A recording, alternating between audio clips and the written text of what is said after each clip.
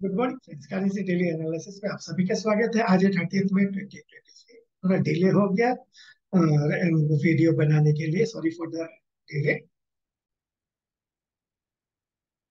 कल US market holiday था due to memorial day इसके लिए ज़्यादा कुछ एक्टिविटीज़ हुआ नहीं। ऑल्सो यूरोपियन मार्केट में UK and other major economies में काफ़ी हॉलीडेज था बिकॉज़ ऑफ़ व्हिच ग्लोबली ज़्यादा कुछ एक्टिविटीज़ देखा नहीं गया डॉलर इंडेक्स अभी hundred four point three zero R S I terms में it is super bullish as far as daily is concern weekly is at 53 so higher range पे that means towards 60 में एक resistance हो सकता है that being the case 105.50 से 105.80 में act as a resistance in near future dollar rupee कल ज़्यादा कुछ एक्टिविटी हुआ नहीं है it traded in between 52 82.52 and 82.67 एक नैरो रेंज में था।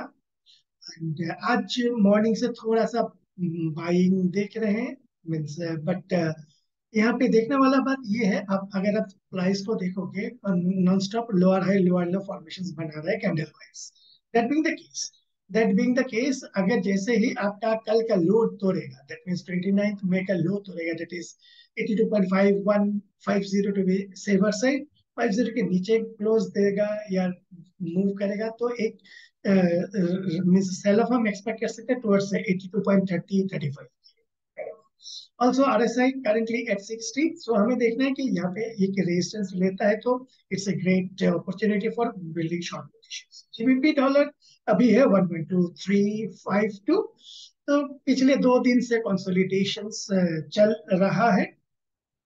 कंसोलिडेशन चल रहा है and we are waiting for the आपका 25th में का लो के नीचे ब्रेक डाउन करना also there is a trend line support इस ट्रेंड लाइन सपोर्ट के नीचे क्लोज देना। देन एंड ओनली देन एक फर्दर फॉल हम एक्सपेक्ट कर सकते हैं जीबीपी डॉलर पे। जीबीपी आईएनआर यहाँ पर भी कंसोलिडेशन कर रहा है पिछले दो दिनों से। आज भी कंसोलिडेशन ही है। जैसे ही आपका 26 में का लो के नीचे क्लोज दे देगा। एंड फॉलो थ्रू होगा तो यहाँ पर भी एक अच्छा खासा सेल ऑफ़ हम एक्सपेक्ट कर सकते हैं। यूरो डॉलर कंटिन्यूअसली वीकनेस बरकरार है बिकॉज़ आपका daily RSI below 40 eight 32.68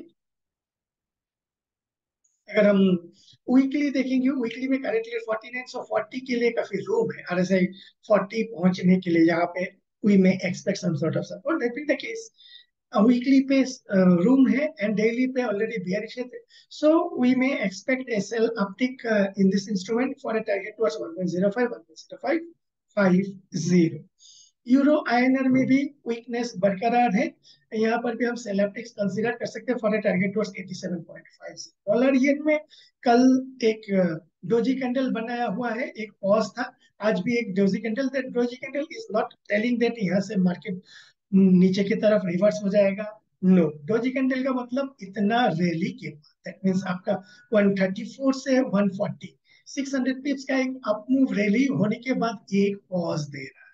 And waiting for the further kicks इसके हाई के ऊपर कंटिन्यूएशन लो के नीचे थोड़ा सा पुल बैक हम एक्सपेक्ट कर सकते हैं। That the case by this may be considered in this instrument JPY INR में भी अच्छा खासा वीकनेस था। अभी पुल बैक में हम सेलिंग के लिए अपॉर्चुनिटी ढूंढ सकते डॉलर कैंडी कंसोलिडेशन में है 1.3599 सो इसको कंसोलिडेट करने देते हैं, एक बार ब्रेकआउट होगा तब जाके इसके ऊपर हम कुछ ध्यान देंगे। ऑसी डॉलर में, जैसा हमारा एक्सपेक्टेशन था, ये पुल बैक देके अंदर में नहीं गया एक एक्सपेक्टेशन हमारा यही था कि ऐसा ना हो कि ये फॉल्स ब्रेकडाउन करके फिर दोबारा रेंज के अंदर में आ जाए। ऐसा नहीं दिख रहा आज एक नेगेटिव कैंडल है अच्छा खासा एक नेगेटिव कैंडल है। दैट मीन द केस आपका 26 में के लो के नीचे इस इंस्ट्रूमेंट में एक अच्छा खासा सेल ऑफ़ हम एक्सपेक्ट कर सकते हैं। डॉलर सीएनएच में बुलिशनेस बरकरार है मींस सीएनएच काफ़ी डिप्रिशिएट हो रहा है। करेंटली एट 7.09 हायर पे 7.22 का एक टारगेट है। एनी टीम में भी बॉट इन दिस इंस्ट्रूमेंट काफ़ी